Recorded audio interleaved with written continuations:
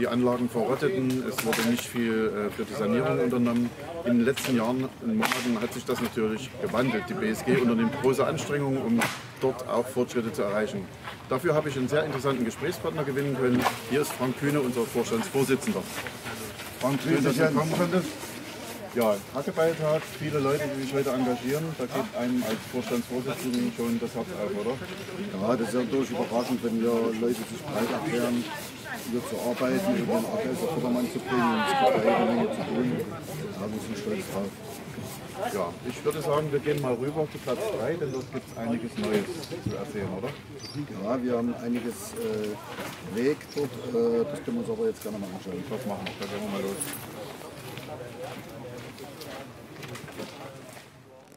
Ja, hier hinten sah es ja letztens auch noch ganz schlimm aus auf der Tenne. Da ist ja auch einiges passiert, oder? Jawohl, dort die ganzen Hänge, die waren alle zugewachsen. Und äh, da haben wir äh, viel investiert, dort die ganzen Hänge zu befreien von dem Wildwuchs. Und ja, man sieht jetzt das Ergebnis und äh, wird dann noch schöner aussehen, wenn dann der neue Kunstrasen hier steht. Ja, also es ist schon gigantisch, sag ich mal. So gut sah das, glaube ich, die letzten 25 Jahre nicht aus. Ja. Äh, Stichwort Kunstrasen, was ist denn da so der Stand? Ganz kurz und knackig. Da stand es so, wir hatten ja noch das Problem, das Oberflächenwasser abzuleiten. Und äh, da ist da hinten ein Bauerngraben und da müssen wir durch den Hang durch. Und das ist jetzt, da müssen wir nochmal einen Bauantrag stellen. Das ist jetzt alles, läuft jetzt alles und äh, der fertige Bauantrag wird in anderthalb Wochen abgegeben. Somit, dass wir damit rechnen, dass wir vielleicht Baubeginn im Mai loslegen können. Das ist aber, wenn man das so mitkriegt, unheimlich ähm, aufwendig, so einen Antrag und so einen Kunstrasen zu bauen. Das haben auch schon andere gemerkt, ne? Ja, das ist natürlich, man muss natürlich eins wissen, wir sind ja äh, im Landschaftsschutzgebiet, bewegen wir uns und da gibt es besondere Auflagen und ja, das ist nun mal halt so, das braucht alles seine Zeit und ja, wir sind aber kurz vorm Ziel. Ich denke mal, da haben wir viel, viel Arbeit hinter uns und das Ergebnis wird sich dann hoffentlich in einem Dreivierteljahr zeigen. Da werden sich die Trainingsbedingungen natürlich dramatisch verbessern. Und da wartet die Mannschaft schon lange drauf, ne? Ja, natürlich ist das natürlich, äh, wenn man hier den Kunstrasen sieht und man den nach der heutigen Generation drauf spielen, das ist natürlich ein Unterschied wie Tag und Nacht. Ja, das muss man natürlich wissen. Ja. Man muss ja sagen, hier befinden wir uns ja eigentlich in einem Areal, das war ja mal geplant als neues Stadion für 30.000 Zuschauer, hier diese Welle und so. Ja, ich habe auch noch zu Hause eine Landkarte, da ist das auch eingezeichnet als neues Stadion schon. Und ja, das war mal so geplant. Kann man ja eigentlich mal dran aufsetzen, wenn man dann in der. Ach, redet man nicht von sowas, oder? Wir wollen ja schon mal den Kunstrasen haben, den neuen. Genau. Ja, wenn man hier das Gelände so sieht, ist ja sehr, sehr weitläufig äh, unsere schönen Plätze hier hinten im Wald, aber das macht auch viel Arbeit. Ne? Da hinten können unsere Platzwarte ein Lied davon singen, oder? Ja, das ist natürlich viel, viel Wiese und viel Hang. Und das, äh, entweder man lässt wachsen, wie es wächst, oder man tut ein bisschen investieren und tut natürlich, wenn die sollen natürlich immer beim Torschuss auch äh, die Tore treffen, aber das klappt nicht immer so. Und deswegen, wenn die Bälle dann immer reinfallen in dieses Dickicht, wir haben, glaube ich, wo wir das äh, bereinigt haben, glaube ich, über 30, 40 Bälle gefunden noch, ja, die schon älter wie 15, 20 Jahre alt sind. Also das sagt auch, weil das letzte Mal hier mal richtig Planie gemacht worden ist. Ja. Da können wir die alle ins Museum geben, ins Chemiemuseum, oder? Dann, das könnte man machen, auf alle Fälle. Bitte beim Herrn Westerburg melden. okay. So, jetzt gehen wir mal zu Platz 3 und schauen mal, was es da Neues gibt, oder? Genau. So, ist schon wieder zugeschlossen. Ja. So, bitte sehr. Dankeschön. Die Schatzkammer. Tja, hier haben wir früher immer oft gestanden an der Ecke und haben uns mit Freunden getroffen. Wie war es bei dir? Ja, ich stand nicht ganz auf der Ecke, ich stand ein bisschen mehr in der Nähe zum Tor und haben dort schon sehr viele Freunde getroffen. Und äh, was, wann war so deine Zeit als aktiver Fan von bis? Wo ich richtig aktiv war, dann, äh, ich bin seit 72 vereinzelt erstmal schon mal so rangekommen und bin dann, sag ich mal, ab 74 dann sehr regelmäßig und 75 fast jedes Spiel. Und wann bist du dann gewechselt in die besseren Etagen, wenn man das so sagen kann? Ja, das ging eigentlich mit meiner äh, Selbstständigkeit los. Das war dann nach der Wende. Ja, und ja, dann sozusagen mit äh, beim FC Sachsen den Club der 100 mitgegründet. Ja, und habe dann so eher so im Hintergrund ein bisschen so äh, versucht, äh, sag ich mal, zu helfen. Mhm. Ja. Unter anderem äh, ja auch die Meistermannschaft aus Beton, zu der wir jetzt gerade kommen. Da weiß ich ja noch, das wurde ja organisiert von dir und einigen anderen und dann wurden die hier aufgestellt. Kannst du dich noch daran erinnern? Da kann ich mich ganz genau daran erinnern. Da saßen wir in der Sachsenstube und äh, da wollten wir irgendwas für diese Jahrfeier machen. Und dann kam irgendeiner auf die Idee und hat gesagt, es gab mal auch einen Fan, der hieß Jens Fuge, der hatte mal die Idee gehabt, zu DDR-Zeiten schon, die Jungs hier nach Leutsch zu holen. Und da habe ich gesagt, stopp, das ist so eine super Idee, gebt mir mal die Telefonnummer von denen, wo die äh, lagern.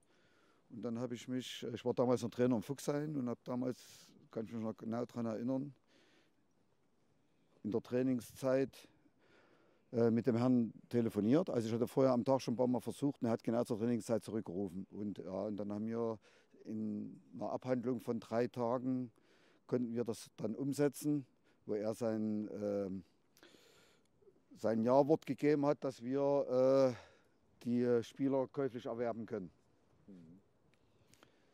Und dann ja. hat er sie hergebracht und dann wurden sie dann hier. Haben das mit der Firma Braun aus Fuchshain.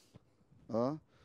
Und dann los. Ich hatte einen Autoanhänger, so einen Autoabschlepper, mit, wo vier Autos drauf passen. Und da haben wir Strohballen genommen und da haben wir die, sagen wir, hierher transportiert.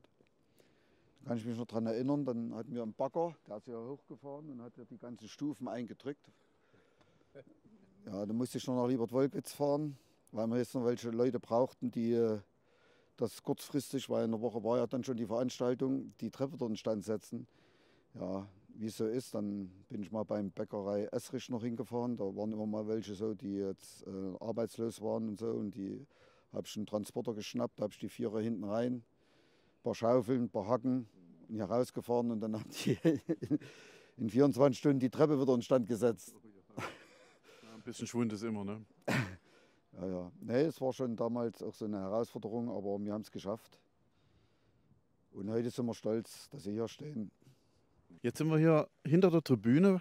Das ist ja auch eine Baustelle, die schon lange existiert. Da gibt es, glaube ich, auch noch ein paar Kleinigkeiten zu machen, ehe die wieder richtig freigegeben werden kann, oder? Ja, wir sind auch kurz vorm Ziel. Das ist eigentlich so, wie man hier sieht, die Türen, die Tore, die werden neu gemacht und auch die Fenster werden neu gemacht. Das ist noch so eine Voraussetzung dafür, dass sie das freigeben. Das ist aber eine Arbeit, soll eigentlich dieses Jahr noch vollendet werden. Sodass wir in der Rückrunde, sage ich mal, äh, die Tribüne wieder voll nutzen können. Voll nutzen heißt wie viele Plätze? Das wären dann 500. Das ist ja aber nicht die ursprüngliche Maximalkapazität, die war ja bei knapp 1000, glaube ich. Ja, ist richtig, aber äh, das hat das, was dann mit der Erweiterung des ähm, Stadions zu tun, also beziehungsweise mit der Zuschauererweiterung. Aber das ist dann wieder ein anderes Thema, eine größere Baustelle. Wir sind froh, dass wir es 500 frei bekommen und da ist die Grundvoraussetzung noch diese Tore und die Fenster.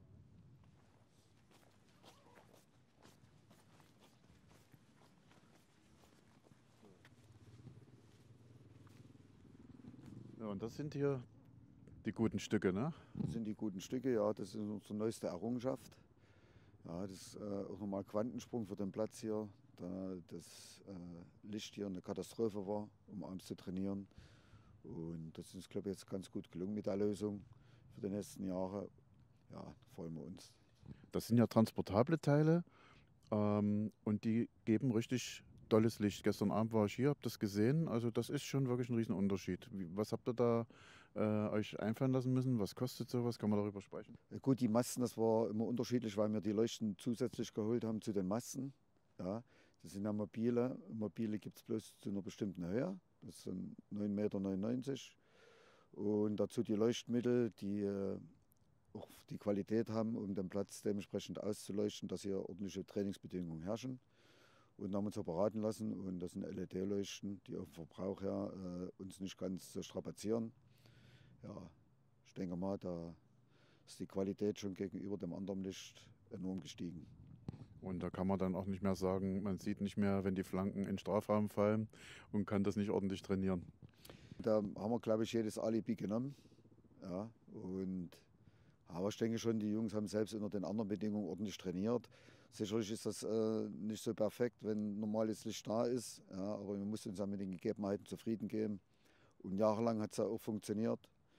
Die Mannschaft war auch erfolgreich gewesen, trotz des Lichtes. Also deswegen, aber es ist ja trotzdem auch für die Kids und äh, allgemein wichtig, dass wir hier ordentliche Trainingsbedingungen haben und die haben wir jetzt geschaffen. Und da denke ich mal, äh, sind wir die nächsten Jahre auch erstmal wieder gut aufgestellt.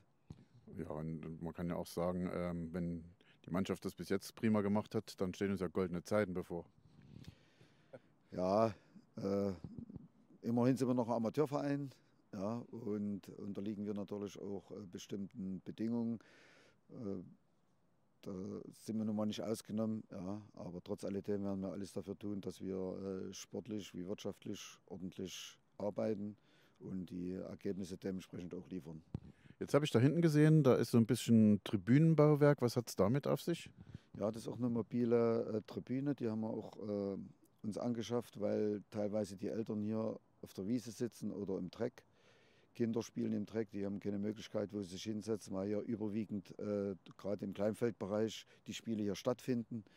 Und auch da haben wir eine Lösung gefunden und die wird dementsprechend auch äh, noch aufgebaut. Ja, auch da haben wir auch einen nächsten Schritt gemacht. Ja, vielen Dank, Frank. Wir haben viel Interessantes Neues erfahren. Ähm, wir bleiben dran. Das war auch nicht das Letzte, was hier geschieht. Im Gegenteil, ganz viele Dinge stehen an. Ähm, da gibt es vieles zu berichten in Zukunft. Wie gesagt, wir werden euch weiter informieren.